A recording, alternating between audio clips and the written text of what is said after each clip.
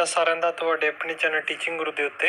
ਤਾਂ ਅੱਜ ਆਪਾਂ ਗੱਲ ਕਰਾਂਗੇ, ਜਿਵੇਂ ਤੁਹਾਨੂੰ ਪਤਾ ਹੀ ਹੈ ਕਿ ਨੈਬ ਤਹਿਸੀਲਦਾਰ ਦਾ ਜਿਹੜਾ ਐਗਜ਼ਾਮ ਹੋਇਆ ਸੀਗਾ ਤੇ ਉਹਦੇ ਵਿੱਚ ਚੀਟਿੰਗ ਦੇ ਬੜੇ ਕੇਸ ਆਏ ਸੀਗੇ, ਜਿਹਦੇ ਵਿੱਚ ਹੁਣ ਜਿਹੜੀ ਹੈਗੀ ਹੈ ਕਾਰਵਾਈ ਇਹਦੇ ਉੱਤੇ ਕੀਤੀ ਗਈ ਹੈ ਤੇ ਇਹਦੇ ਵਿੱਚ ਪਾਇਆ ਗਿਆ ਹੈ ਕਿ ਬੱਚਿਆਂ ਦੁਆਰਾ ਜਿਹੜੀ ਹੈਗੀ ਹੈ ਨਕਲ ਕੀਤੀ ਗਈ ਹੈ। ਤਾਂ ਉਹਦੀ ਹੀ ਜਿਹੜੀ ਹੈਗੀ ਇੱਕ ਪ੍ਰੈਸ ਕਾਨਫਰੰਸ ਰੱਖੀ ਗਈ ਸੀਗੀ ਪੁਲਿਸ ਵੱਲੋਂ ਤੇ ਦੇਖਦੇ ਹਾਂ ਕਿ ਪੁਲਿਸ ਨੇ ਇਹਦੇ ਵਿੱਚ ਕੀ ਕੁਝ ਕਿਹਾ ਕਿ ਕਿਵੇਂ ਉਹਨਾਂ ਨੇ ਚੀਟਿੰਗ ਕੀਤੀ ਹੈ ਕਿਹੜੇ ਕਿਹੜੇ ਉਹਨਾਂ ਕੋਲ ਜਿਹੜੇ ਪ੍ਰੂਫ ਨੇ ਉਹ ਮਿਲੇ ਨੇ। ਤੇ ਕਿਸ ਦਾ ਕਿਹਦਾ ਨਾਮ ਆਇਆ ਕੈਂਡੀਡੇਟ ਦਾ, ਕਿੱਥੋਂ ਕਿੱਥੋਂ ਬਿਲੋਂਗ ਕਰਦੇ ਨੇ ਉਹ? ਮੇਜਰਲੀ ਜਿਹੜੇ ਇਹਨਾਂ ਨੇ ਕਿਹਾ ਗਿਆ ਹੈ ਕਿ ਜਿਹੜਾ ਪਟਿਆਲੇ ਤੋਂ ਸੰਗਰੂਰ ਵਾਲੀ ਜਿਹੜੀ ਬੈਲਟ ਹੈ ਮੋਸਟਲੀ ਕੈਂਡੀਡੇਟ ਜਿਹੜੇ ਹੈਗੇ ਨੇ, ਉਹ ਉਧਰ ਦੇ ਨੇ। ਤਾਂ ਅੱਗੇ ਇਹਨਾਂ ਜਿਹੜੀ ਇਹ ਪ੍ਰੈਸ ਕਾਨਫਰੰਸ ਹੋਈ ਹੈ, ਇਹਦੇ ਵਿੱਚ ਇਹਨਾਂ ਨੇ ਪੂਰਾ ਦੱਸਿਆ ਕਿ ਕਿਵੇਂ ਉਹਨਾਂ ਨੇ ਚੀਟਿੰਗ ਕਿਵੇਂ ਗੈਜਟ ਉਹ ਅੰਦਰ ਲੈ ਕੇ ਗਏ, ਕਿਵੇਂ ਪਤਾ ਲੱਗਦਾ ਸੀਗਾ ਕਿ ਕਿਹੜਾ ਉਹਨਾਂ ਨੂੰ ਪੇਪਰ ਆਇਆ ਹੈ। ਤੇ ਬਾਹਰ ਵਾਲੀ ਜਿਹੜੀ ਟੀਮ ਸੀਗੀ, ਦੂਜੀ, ਜਿਹੜਾ ਉਹਨਾਂ ਨੂੰ ਪੇਪਰ ਕਰਾਉਂਦੀ ਸੀਗੀ ਉਹ ਕਿਵੇਂ ਇਹਨਾਂ ਨਾਲ ਕੰਟੈਕਟ ਕਰਦੀ ਹੈ ਤੇ ਕਿਵੇਂ ਜਿਹੜੀ ਪੂਰੀ ਕਾਰਵਾਈ ਕਰਕੇ ਇਹ ਜਿਹੜੇ ਪੇਪਰ ਦੇ ਵਿੱਚ 100 ਵਟਾ 100 ਜਿਹੜੇ ਨੰਬਰ ਨੇ ਉਹ ਲੈ ਕੇ ਆਉਂਦੇ ਨੇ। ਪੰਜਾਬ ਦੇ ਵਿੱਚ ਬੜੇ ਕਪਲੇ ਜਿਹੜੇ ਹੈਗੇ ਨੇ ਸਾਹਮਣੇ ਆ ਰਹੇ ਨੇ। ਅਲੱਗ-ਅਲੱਗ ਪੇਪਰ ਦੇ ਵਿੱਚ ਪੰਜਾਬ ਤਹਿਸੀਲਦਾਰ ਦੇ ਪੇਪਰ ਦੇ ਵਿੱਚ ਇਸ ਤੋਂ ਪਹਿਲਾਂ ਜਿਹੜੇ ਸਬ ਇੰਸਪੈਕਟਰ ਦੇ ਪੇਪਰ ਹੋਏ ਸੀਗੇ, ਉਹਨਾਂ ਦੇ ਵਿੱਚ ਵੀ ਚੀਟਿੰਗ ਦੇ ਕੇਸ ਬੜੇ ਦੇਖਣ ਨੂੰ ਮਿਲੇ ਸੀਗੇ। ਤੇ ਇਹਦੇ ਵਿੱਚ ਇਨਵੈਸਟੀਗੇਸ਼ਨ ਦੀ ਜਾਂਚ ਹੁਣ ਹੋਈ ਹੈ। ਇਹਦੇ ਵਿੱਚ ਅੱਗੇ ਵੀ ਫਰਦਰ ਜਾਂਚ ਜਿਹੜੀ ਹੈਗੀ ਚੱਲ ਰਹੀ ਹੈ ਕਿਤੇ ਕਿਤੇ ਨਾਮ ਆਉਂਦੇ ਨੇ ਉਹਨਾਂ ਨੂੰ ਜਦ ਉਹਨਾਂ ਦੇ ਉੱਤੇ ਅੱਗੇ ਬਣਦੀ ਕਾਰਵਾਈ ਜਿਹੜੀ ਹੈਗੀ ਆ ਉਹ ਕੀਤੀ ਜਾਵੇਗੀ। ਤਾਂ ਇੱਕ ਵਾਰ ਆਪਾਂ ਦੇਖ ਲੈਂਦੇ ਆ ਕਿ ਪੰਜਾਬ ਦੇ ਜਿਹੜੇ ਆਪਣੇ ਡੀਜੀਪੀ ਨੇ ਆਈਜੀ ਨੇ, ਇਹਨਾਂ ਦੇ ਐਸਐਸਪੀ ਨੇ ਜਿਹੜੇ ਪ- ਪਟਿਆਲੇ ਥਾਣੇ ਦੇ, ਉਹਨਾਂ ਨੇ ਇਹਦੇ ਉੱਤੇ ਕੀ ਕੁਝ ਕਿਹਾ ਹੈ ਤੇ ਪ੍ਰੈਸ ਕਾਨਫਰੰਸ ਦੇ ਵਿੱਚ ਉਹਨਾਂ ਨੇ ਕੀ ਬਿਆਨ ਦਿੱਤਾ ਤਾਂ ਚਲੋ ਇੱਕ ਵਾਰ ਉਹ ਵੀਡੀਓ ਵੀ ਆਪਾਂ ਦੇਖ ਲੈਂਦੇ ਆ ਬਾਕੀ ਚਲੋ ਸਰਕਾਰ ਆਈ ਹੈ, ਆਪਣਾ ਜਿਹੜਾ ਯੂਥ ਹੈ ਉਹਨੇ ਸਰਕਾਰ ਨੂੰ ਚੁਣਿਆ ਇਸ ਤੋਂ ਪਹਿਲਾਂ ਵਾਲੀਆਂ ਵੀ ਜਿਹੜੀ ਸਰਕਾਰਾਂ ਆਈਆਂ ਸੀਗੀਆਂ, ਬੜੀ ਕਰਪਸ਼ਨ ਦੇ ਕੇਸਿਸ ਕਿਹਾ ਗਿਆ ਸੀ ਕਿ ਜਿਹੜੇ ਸਾਰੇ ਬੱਚੇ ਨੇ ਪੈਸੇ ਲੈ ਕੇ ਜਿਹੜੇ ਲੱਗਦੇ ਨੇ ਤੇ ਜਿਹੜਾ ਪੜ੍ਹਿਆ ਲਿਖਿਆ ਨੌਜਵਾਨ ਹੈ, ਜਿਹੜਾ ਪੜ੍ਹ ਲਿਖ ਕੇ ਮਿਹਨਤ ਕਰਦਾ ਜਿਹੜਾ ਕੋਚਿੰਗਾਂ ਜਾਂਦਾ ਹੈ, ਉਹਨੂੰ ਮੌਕਾ ਨਹੀਂ ਸੀ ਮਿਲਦਾ। ਤਾਂ ਇਸ ਵਾਰ ਆਪਾਂ ਨੇ ਜਿਹੜੀ ਹੈਗੀ ਹੈ, ਭਗਵੰਤ ਮਾਨ ਦੀ ਜਿਹੜੀ ਸਰਕਾਰ ਹੈ, ਆਮ ਆਦਮੀ ਪਾਰਟੀ ਦੀ ਸਰਕਾਰ ਜਿਹੜੀ ਹੈਗੀ ਹੈ, ਉਹ ਚੁਣੀ ਹੈ। ਤਾਂ ਉਮੀਦ ਹੈ ਆਪਾਂ ਸਾਰਿਆਂ ਨੂੰ ਯੂਥ ਨੂੰ ਕਿ ਵਧੀਆ ਤੋਂ ਵਧੀਆ ਆਪਾਂ ਨੂੰ ਇਹਦੇ ਵਿੱਚ ਦੇਖਣ ਨੂੰ ਮਿਲਣਗੇ ਤੇ ਜਿਨ੍ਹਾਂ ਨੇ ਵੀ ਮਾਲ ਪ੍ਰੈਕਟਿਸ ਕੀਤੀ ਹੈ ਉਹਨਾਂ ਦੇ ਉੱਤੇ ਸਖਤ ਤੋਂ ਸਖਤ ਜਿਹੜੀ ਕਾਰਵਾਈ ਹੈ ਉਹ ਹੋਣੀ ਚਾਹੀਦੀ ਹੈ ਤਾਂ ਕਿ ਜਿਹੜੇ ਪੜ੍ਹਨ ਵਾਲੇ ਬੱਚੇ ਨੇ ਉਹਨਾਂ ਦਾ ਨੰਬਰ ਆਵੇ ਨਾ ਕਿ ਜਿਹੜੇ ਨਕਲ ਮਾਰ ਕੇ ਪਾਸ ਹੋਏ ਨੇ ਕਿਉਂਕਿ ਉਹ ਅੱਗੇ ਵੀ ਕੁਝ ਨਹੀਂ ਕਰਨਗੇ ਫਿਰ ਦੇਸ਼ ਲਈ।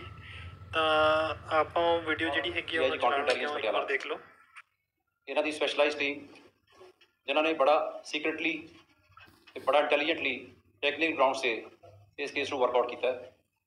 ਇਸ ਸੰਬੰਧ ਦੇ ਵਿੱਚ ਅਸੀਂ ਇੱਕ ਕਤਵਾਲੀ ਥਾਣੇ ਵਿੱਚ ਐਫ ਆਈ ਆਰ ਰਜਿਸਟਰ ਕੀਤੀ ਹੈ ਔਰ ਪੰਜ ਅਕਿਊਜ਼ਡ ਜਿਹੜੇ ਅਸੀਂ ਅਰੈਸਟ ਕੀਤੇ ਆ ਉਹ ਜਿਹੜੇ ਪੰਜ ਅਕਿਊਜ਼ਡ ਨੇ, ਉਹਨਾਂ ਦੀ ਇੰਟਰੋਗੇਸ਼ਨ ਦੇ ਵਿੱਚੋਂ ਜਿਹੜੀ ਚੀਜ਼ ਡਿਵੈਲਪ ਹੋਈ ਹੈ, ਉਹ ਅਸੀਂ ਮੀਡੀਆ ਨਾਲ ਸ਼ੇਅਰ ਕਰਨ ਜਾ ਰਹੇ ਹਾਂ ਕਿ ਇਲੈਕਟ੍ਰੋਨਿਕ ਡਿਵਾਈਸਿਸ ਦੇ ਨਾਲ, ਇਹ ਸਾਰੀ ਫਰਾਡੂਲੈਂਟ ਔਰ ਮੈਲ ਪ੍ਰੈਕਟਿਸ ਦੇ ਨਾਲ ਕੁਝ ਕੈਂਡੀਡੇਟਸ ਨੂੰ ਐਗਜ਼ਾਮ ਕਰਵਾਇਆ ਗਿਆ ਔਰ ਇਸ ਮੈਲ ਪ੍ਰੈਕਟਿਸ ਦੀ ਉਹਨਾਂ ਦੀ ਸਿਲੈਕਸ਼ਨ ਹੋਈ। ਉਸ ਦੀ ਮੋਡਸ ਸਪਰੈਡੀ ਮੈਂ ਤੁਹਾਡੇ ਨਾਲ ਸ਼ੇਅਰ ਕਰ ਰਿਹਾ। ਕਿ ਪੇਪਰ ਜਿਹੜਾ, ਇਹਨਾਂ ਦੇ ਹਰਿਆਣਾ ਦੇ ਵਿੱਚ ਪ੍ਰੀ ਡਿਟਰਮਿਨਡ ਕੰਟਰੋਲ ਰੂਮ ਦੇ ਵਿੱਚ ਸਾਰਾ ਦਾ ਸਾਰਾ ਕੁਐਸਚਨ ਪੇਪਰ ਪਹੁੰਚ ਗਿਆ। ਉੱਥੇ ਇਹਨਾਂ ਨੇ ਟੀਚਰ ਪ੍ਰੋਫੈਸਰ ਐਕਸਪਰਟਸ ਬਿਠਾਏ ਹੋਏ ਸੀ। ਇਹਨਾਂ ਨੇ ਵਿਦਨ ਮਿੰਟ ਸਾਰਾ ਪੇਪਰ ਸੋਲਵ ਕਰਕੇ ਉਹਦੀ ਕੀ ਬਣਾਤੀ। ਉਸ ਵਾਰ ਜਿਹੜੇ ਕੈਂਡੀਡੇਟਸ ਨਾਲ ਇਹਨਾਂ ਦੀ ਸੈਟਿੰਗ ਸੀ, ਉਹਨਾਂ ਨੂੰ ਇਹ- ਇਹਨਾਂ ਨੇ ਜੀਐਸਐਮ ਇਕਵਿਪਮੈਂਟ ਦਿੱਤੀ ਹੈ।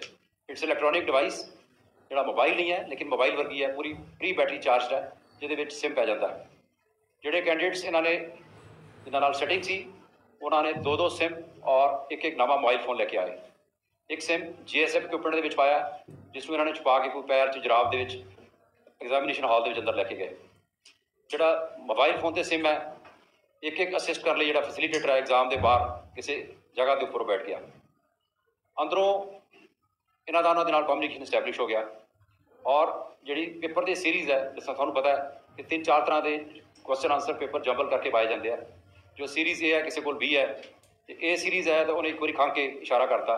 ਤੋਂ ਬਾਹਰ ਪਤਾ ਲੱਗਿਆ ਜੀ ਇਹ ਸੀਰੀਜ਼ ਦਾ ਪੇਪਰ ਹੈ ਇਹਦੇ ਕੋਲ। ਜੇ ਕਿਸੇ ਕੋਲ 20 ਸੀਰੀਜ਼ ਦਾ ਹੈ ਤਾਂ ਉਹਨੇ ਦੋ ਵਾਰੀ ਖੰਗਤਾ ਜਾਂ ਦੋ ਵਾਰੀ ਮੇਜ ਲੌਕ ਕਰਤਾ।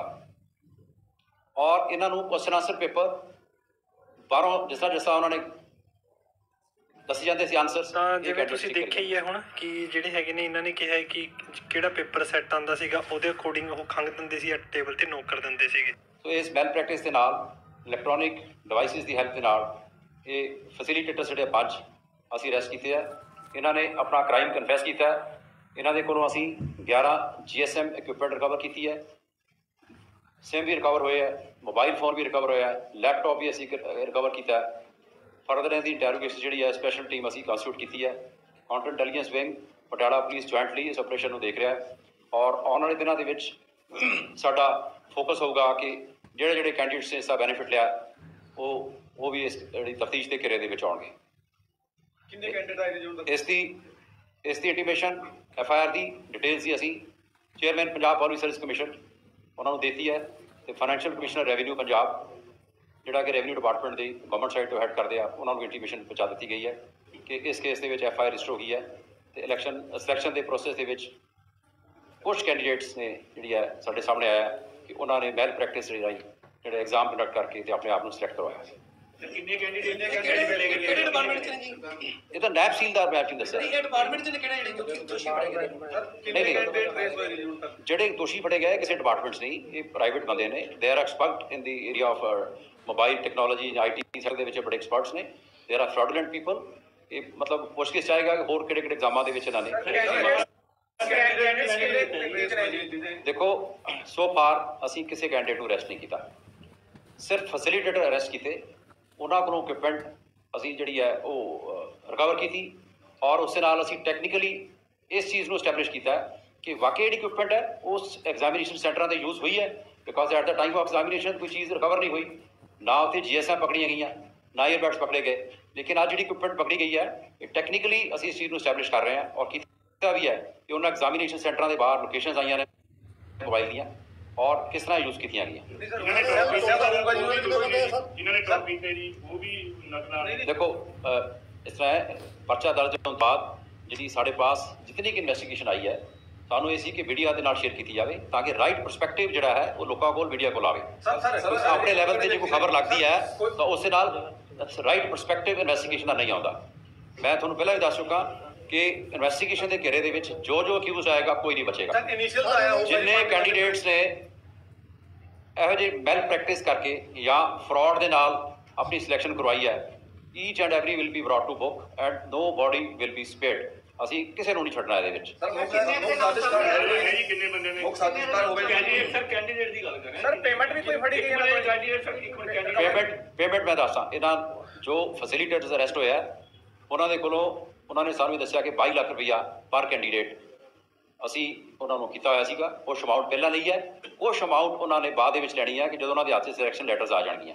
ਲੇਕਿਨ ਇਹ ਪ੍ਰੋਸੈਸ ਅਜੇ ਕੰਪਲੀਟ ਨਹੀਂ ਹੋਇਆ। ਗਵਰਨਮੈਂਟ ਲੈਵਲ ਤੇ ਇੰਟੀਮੇਸ਼ਨ ਚਲੇਗੀ। ਇਹਨਾਂ ਨੂੰ ਗਵਰਨਮੈਂਟ ਇਹਨਾਂ ਦਾ ਸਿਲੈਕਸ਼ਨ ਪ੍ਰੋਸੈਸ ਜਿਹੜਾ ਸਟੇ ਕੀਤਾ ਹੋਇਆ। ਕਿਸੇ ਨੂੰ ਅਪਾਇੰਟਮੈਂਟ ਲੈਟਰਸ ਅਜੇ ਸੋ ਫਾਰ ਨਹੀਂ ਮਿਲੇ। ਅਸੀਂ ਐਫ ਆਈ ਆਰ ਦੀ ਰਜਿਸਟਰ ਹੋਣ ਤੋਂ ਬਾਅਦ ਇੰਟੀਮੇਸ਼ਨ ਜਿਹੜੀ ਹੈ ਰਾਈਟ ਕੁਆਟਰਸ ਤੇ ਭੇਜ ਦਿੱਤੀ ਹੈ ਜਿਸ ਆਪ ਸਰ ਸਾਜ਼ਿਸ਼ ਸਰ ਹੈ ਸਰ, ਸਰ total ਇਸ ਕਿੰਨੇ ਕਲੀਅਰ ਬੰਦੇ ਜਾਏਗਾ ਪੰਜਾਂ ਦੇ ਵਿੱਚ। ਭਾਈ ਸਾਹਿਬ ਕਲੀਅਰ ਕਰੋ ਜੀ ਜਿਹੜਾ ਕਿ ਜਿਹੜੇ ਪੰਜ ਬੰਦੇ ਫੜੇ ਨੇ। ਤਾਂ ਇੱਥੇ ਆਪਾਂ ਨੂੰ ਪਤਾ ਲੱਗ ਗਿਆ ਕਿ ਜਿਵੇਂ ਇਹਨਾਂ ਨੇ ਕਿਹਾ ਕਿ 20 ਲੱਖ ਦੇ ਵਿੱਚ ਜਿਹੜੀ ਹੈਗੀ ਹੈ ਗੱਲ ਹੋਈ ਸੀਗੀ ਇੱਕ ਪੇਪਰ ਦੀ ਤੇ ਜਿਹੜੇ ਪੈਸੇ ਸੀਗੇ ਉਹ ਸਾਰੇ ਐਗਜ਼ਾਮ ਤੋਂ ਬਾਅਦ ਦੇਣੇ ਸੀਗੇ। ਤੇ ਉਸ ਤੋਂ ਬਾਅਦ ਇਹਨਾਂ ਨੇ ਇਹ ਵੀ ਦੱਸਿਆ ਕਿ ਜਿਹੜੀ ਲੋਕੇਸ਼ਨ ਹੈ ਉਹ ਕਿਵੇਂ ਇਹ ਦੇਖਣਗੇ ਟ੍ਰੇਸ ਕਰਨਗੇ ਕਿ ਪੇਪਰ ਵਾਲੇ ਦਿਨ ਜਿਹੜਾ ਕੈਂਡੀਡੇਟ ਸੀਗਾ ਤੇ ਜਿਹੜੇ ਚੀਟਿੰਗ ਕਰਵਾ ਰਹੇ ਸੀਗੇ ਉਹ ਕਿਹੜੀ ਲੋਕੇਸ਼ਨ ਤੇ ਸੀਗੇ ਤਾਂ ਜੋ ਅੱਗੇ ਨਾ ਬਣਦੀ ਕਾਰਵਾਈ ਹੈ ਤੇ ਜਿਹੜੇ ਵੀ ਸੈਕਸ਼ਨ ਨੇ ਉਹ ਕੈਂਡੀਡੇਟ ਉੱਤੇ ਲਾਏ ਜਾਣਗੇ ਤਾਂ ਕਿ ਅੱਗੇ ਉਹਨੂੰ ਫਰਦਰ ਪੇਪਰ ਦੇਣ ਤੋਂ ਬਰਖਾਸਤ ਕੀਤਾ ਜਾਵੇ ਤੇ ਜਿਹੜੇ ਪੜ੍ਹੇ ਲਿਖੇ ਨੌਜਵਾਨ ਨੇ ਉਹਨਾਂ ਦਾ ਇਹਦੇ ਵਿੱਚ ਨੰਬਰ ਆਵੇ ਕਿਉਂਕਿ ਦੇਖੋ ਇੱਕ ਜੇਕਰ ਪੜ੍ਹ ਲਿਖ ਕੇ ਆਪਦੀ ਮਿਹਨਤ ਨਾਲ ਕੋਈ ਕੈਂਡੀਡੇਟ ਨੌਕਰੀ ਤੇ ਲੱਗਦਾ ਹੈ, ਤਾਂ ਅੱਗੇ ਭਾਵੇਂ ਉਹ ਕੋਈ ਮਰਜ਼ੀ ਮਹਿਕਮੇ ਤੋਂ ਜਾਂਦਾ ਭਾਵੇਂ ਪੁਲਿਸ 'ਚ ਜਾਂਦਾ ਭਾਵੇਂ ਤਹਿਸੀਲਦਾਰ ਦੇ ਵਿੱਚ ਭਾਵੇਂ ਕਲਰਕ ਲੱਗਦਾ ਹੈ ਉਹ ਆਪਣਾ ਕੰਮ ਇਮਾਨਦਾਰੀ ਨਾਲ ਕਰਦਾ ਹੈ। ਪਰ ਜੇਕਰ ਪਹਿਲੇ ਹੀ ਜਿਹੜਾ ਕੈਂਡੀਡੇਟ ਹੈ, ਉਹ ਪਹਿਲਾਂ ਹੀ ਪੈਸੇ ਦੇ ਕੇ ਲੱਗਦਾ ਤਾਂ ਉਹ ਸਭ ਤੋਂ ਪਹਿਲਾਂ, ਉਹ ਪਹਿਲਾਂ ਹੀ ਇੱਕ ਤਾਂ ਉਹ ਹੈ। ਉਸ ਤੋਂ ਬਾਅਦ ਦੂਜਾ ਕੀ ਹੈ, ਇਹ ਲੱਗਣ ਤੋਂ ਬਾਅਦ ਉਹ ਆਪਣੇ ਪੈਸੇ ਪੂਰੇ ਕਰਨ ਨੂੰ ਸੋਚਦਾ ਹੈ। ਇਹਦੇ ਨਾਲ ਕੀ ਹੈ ਕਰਪਸ਼ਨ ਜਿਹੜੀ ਹੈਗੀ ਹੈ, ਹੋਰ ਵਧੂਗੀ ਪੰਜਾਬ ਦੇ ਵਿੱਚ। ਤਾਂ ਇਸ ਤੋਂ ਚੰਗਾ ਪਹਿਲਾਂ ਹੀ ਜਿਹੜਾ ਇਮਾਨਦਾਰ ਕੈਂਡੀਡੇਟ ਹੈ, ਉਹਨੂੰ ਆਪਣੀ ਮਿਹਨਤ ਦੇ ਹਿਸਾਬ ਨਾਲ ਉੱਥੇ ਲਾਇਆ ਜਾਵੇ। ਤੇ ਸਾਰੇ ਜਿਹੜੇ ਹੈਗੇ ਨੇ, ਜਿਹੜੀ ਵੀ ਨਕਲ ਮਾਰ ਕੇ ਚੀਟਿੰਗ ਕਰਕੇ, ਮਾਲ ਪ੍ਰੈਕਟਿਸ ਕਰਕੇ ਜਾਂ ਕਿਸੇ ਹੋਰ ਕਾਰਨਾਂ ਕਰਕੇ ਨੰਬਰ ਲੈ ਕੇ ਆ ਜਾਂਦੇ ਨੇ ਪੇਪਰ ਦੇ ਵਿੱਚ। ਤੇ ਗਲਤ ਤਰੀਕੇ ਨਾਲ ਜਿਹੜੀ ਹੈਗੀ ਹੈ, ਇੱਕ ਪੋਸਟ ਜਿਹੜੀ ਹੈਗੀ ਹੈ, ਖਰਾਬ ਕਰ ਦਿੰਦੇ ਨੇ, ਜਿਹੜਾ ਜਿਹਨੂੰ ਲੱਗਣਾ ਚਾਹੀਦਾ ਸੀ ਉਹ ਨਹੀਂ ਲੱਗਦਾ ਤੇ ਮਾਲ ਪ੍ਰੈਕਟਿਸ ਕਰਕੇ ਦੂਜੇ ਕੈਂਡੀਡੇਟ ਦਾ ਜਿਹੜਾ ਨੰਬਰ ਹੈ ਉਹ ਆ ਜਾਂਦਾ। ਤਾਂ ਇਹ ਖਤਮ ਹੋਣਾ ਚਾਹੀਦਾ ਹੈ ਤੇ ਪੰਜਾਬ ਸਰਕਾਰ ਨੂੰ ਅਪੀਲ ਹੈ ਕਿ ਵਧੀਆ ਕੰਮ ਹੈ। ਵਧੀਆ ਕੰਮ ਕੀਤਾ ਹੈ ਕਿ ਜਿਹੜਾ ਤਹਿਸੀਲਦਾਰ ਦਾ ਐਗਜ਼ਾਮ ਹੈ, ਇਹਦੇ ਉੱਤੇ ਜਿਹੜੀ ਜਾਂਚ ਹੈ ਉਹ ਕਰਵਾਈ ਜਾ ਰਹੀ ਹੈ ਤੇ ਜਲਦੀ ਹੀ ਨਿਬੇੜੇ ਤੇ ਸਿਰੇ ਚਾੜੀ ਜਾਣ ਇਹ। ਤੇ ਜਿਹੜੇ ਵੀ ਕੈਂਡੀਡੇਟ ਨੇ ਇਹ ਕੀਤਾ ਜਲਦੀ ਤੋਂ ਜਲਦੀ ਉਹ ਫੜੇ ਜਾਣ ਤੇ ਅੱਗੇ ਬਣਦੀ ਫਰਦਰ ਕਾਰਵਾਈ ਉਹਨਾਂ ਤੇ ਕੀਤੀ ਜਾਵੇ। ਤੇ ਜਿਹੜੇ ਵੀ ਕੈਂਡੀਡੇਟ ਮੇਰੀ ਵੀਡੀਓ ਦੇਖ ਰਹੇ ਨੇ ਚੈਨਲ ਨੂੰ ਸਬਸਕ੍ਰਾਈਬ ਜ਼ਰੂਰ ਕਰਿਓ ਤਾਂ ਕਿ ਕੋਈ ਵੀ ਅਗਰ ਜੇਕਰ ਨਿਊਜ਼ ਆਉਂਦੀ ਹੈ ਇਹਦੇ ਰਿਲੇਟਡ ਜਾਂ ਕੋਈ ਹੋਰ ਪੇਪਰਾਂ ਦੇ ਰਿਲੇਟਡ ਤਾਂ ਤੁਹਾਨੂੰ ਉਹਦਾ ਪਤਾ ਲੱਗਦਾ ਰਹੇ। ਧੰਨਵਾਦ ਜੀ ਤੁਹਾਡਾ ਸਾਰਿਆਂ ਦਾ ਵੀਡੀਓ ਦੇਖਣ ਲਈ। Thank you